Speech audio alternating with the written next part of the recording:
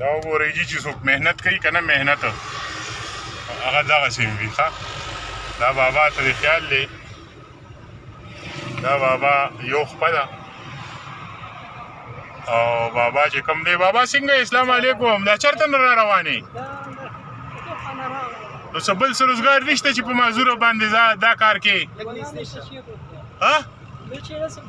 بل شي کوا کنه ګوره دا خدا سي نه کیږي کنه مطلب دا ته دومره معذوره مې او دومره غټ پند په سر کړې دی دا خبر کوم بابا دا ولې دا دا ولې نو شا خشا خروجته دا ما په نوره مدرولې دا هم بده خبره ده خدا دې چې ګوره ستا یو خپل او ته دومره ګران کار کینې چرته اسان کار به دې کولو بس الله دې خوشاله که زه روان شه دا اوس وګوره که نه دا بابا دی او دا څونه ګران کار دی او دا دونه انجیوګانو والا او دونه پیسې والې کېږي پاکستان کې د ده دا حل دی د معذوره سړي دا حل دی